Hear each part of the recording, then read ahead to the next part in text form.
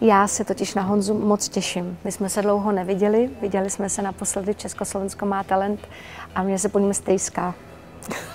Takže já se na něj moc těším. Dozvím se snad, co je novýho a tak a doufám, že na mě bude hodný, že na mě nebude přísnej.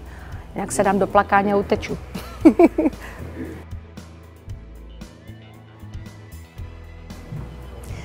to se mi právě na něm líbí, že vůbec nevím, co bude.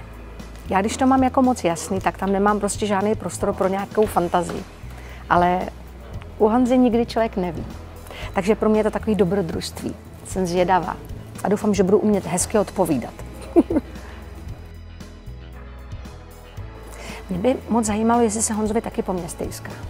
A tak by mě zajímalo prostě, proč mi občas nenapíše.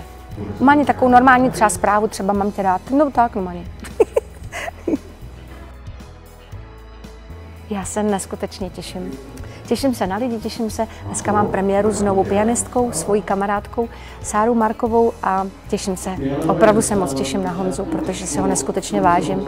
Je to jeden z nejúžasnějších, nejúžasnějších mužů, který jsem kdy v životě poznala. Fakt. A to nekecám.